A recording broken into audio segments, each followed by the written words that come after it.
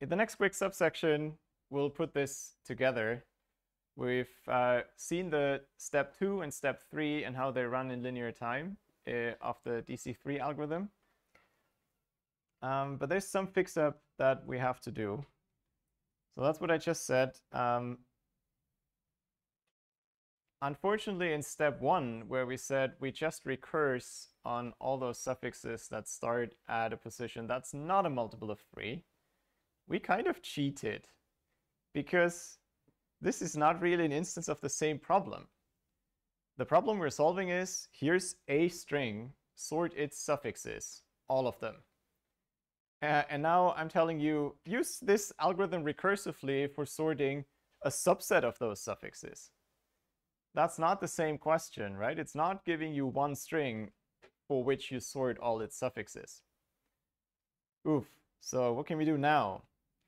Uh, no need to despair because the subset that we're recursing on has a specific structure. It's very regular. It takes every substring uh, that starts at a certain position modulo 3. So uh, we just have to come up with a creative way to make the recursion skip these other suffixes. If you think about it, um, maybe you can come up with this one. The trick is to blow up the alphabet.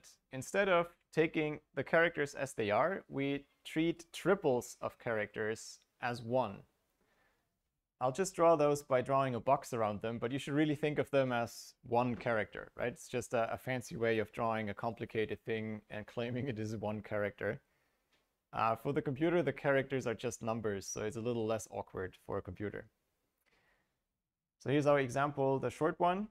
Instead of looking at banana ban, you look at this string of four characters, the first of which is ban, the second of which is ana, and the third of which is, is ban again, and the last is the triple dollar.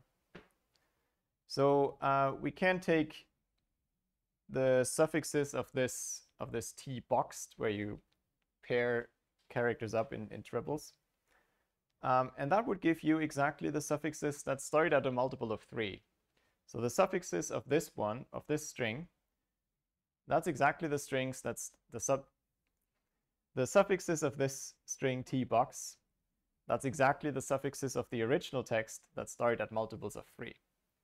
So that's great, but that's not quite what we needed. What we need is R1, 2. We need those that don't start at a multiple of 3. But a slight twist to this construction still works. So you take your string, um, but you start at the first at, at index one, you delete the first character, and then apply this boxing operation. And then you append the string another time, but you leave off the first two characters, and then do the boxing. So in, in this string, all the boxes start at 1 modulo 3. In this string, all the boxes start at 2 modulo 3. So if you take those two together, the suffixes of this text t prime those are exactly the suffixes that start at 1 or 2 modulo 3. Um, I think I have a bigger example for that on the next slide. Uh, but that's pretty much the idea. We construct a new string that has a different alphabet, which just magically happens to delete the suffixes we didn't like, that we don't want to recurse on.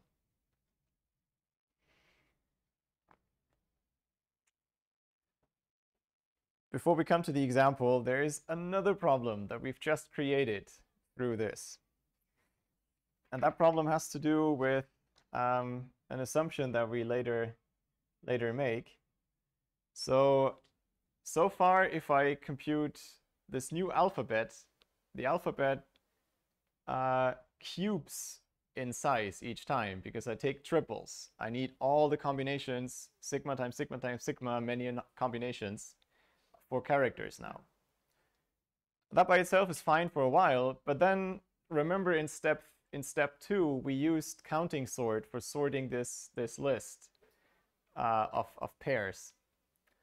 And counting sort is only then linear time if the numbers are in range uh, 1 to n, or, or roughly the range as long as the list is. So if we keep cubing the alphabet, very quickly the alphabet size will be much bigger than the number of strings we're sorting. And so we can't use counting sort anymore. Uh, luckily, there's uh, another fix for this, which makes the algorithm a little more uh, contrived, but solves this eventually. If we have a string of length 2 third n, as something maybe best illustrated here, uh, how long is this text t prime in terms of the number of characters? It's 2 times t, roughly, right? We chop off some characters, but let's not be too strict.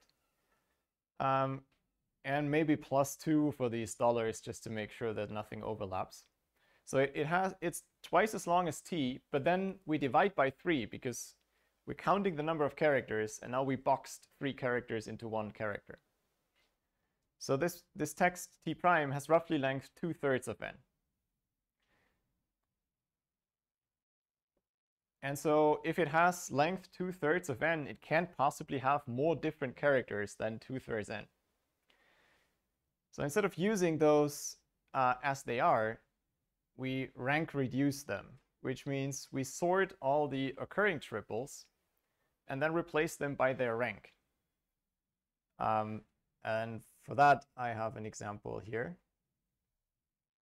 So uh, the important point is if you do this, you never have more characters than the, the string is long. And that means we can keep sigma small, the low end. So here's an example that shows these, uh, these transformations um, together. That's um, the construction again for t prime. Here's our original text. Um, and here's the text when you start uh, at position 2.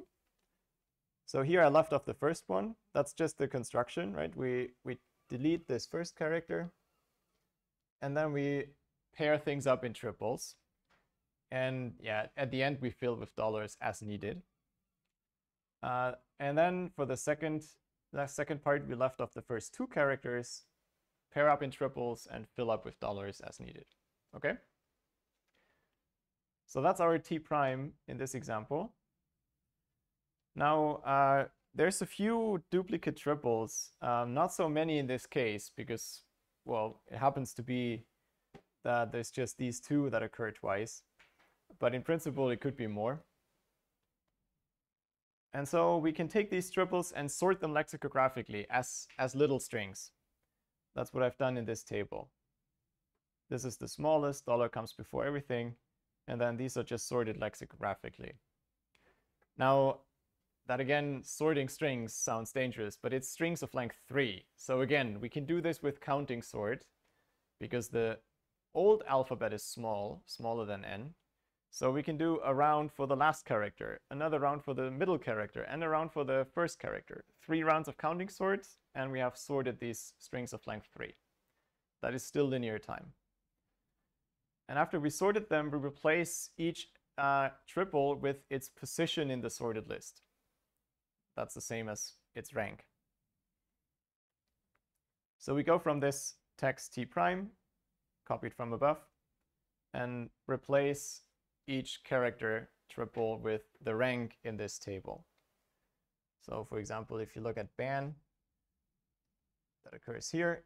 Hence, instead of ban, we now have the character 0, 5.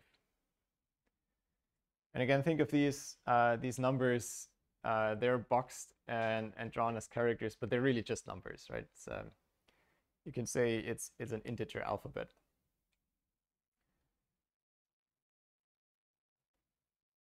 Yeah, that's the end of this algorithm.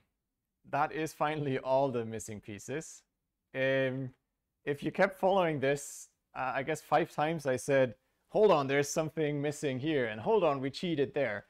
Uh, this is the end. We, we resolved all of these problems, uh, which may not be obvious after maybe not seeing the first things at the pace I threw them at you. Uh, but I promise that's it. So let's let's have a look at what, what we've done. Uh, remember again, the algorithm, it recurses on the, the two thirds only. That's why it's overall linear. And the second and third step inducing the ranks of the ones that started multiples of three and then merging the two lists, it was all linear. So the overall running time is linear. And that's even true if the string has a large alphabet. It can be uh, all different characters, it can be an integer alphabet. So what have we achieved? Uh, we have reduced the fairly fat suffix tree to something that is, is much uh, more lightweight. The suffix array is just a list of numbers. We found um, for random, so I should add this. For random strings, we can use a fairly simple algorithm that's also easy to code, this fat pivot uh, um, string quicksort that runs in, in roughly n log n time. Uh, but if you need, um, then it's doable in worst case linear time. And there are implementations of this algorithm around. It's um, it looks it looks tough to do all the steps right, but at, if you spell it out in code, it's surprisingly short and elegant because all you really need is integer sorting. Um, so what, what can we do with the suffix array? We can construct it efficiently and we can do uh, pattern matching, for example.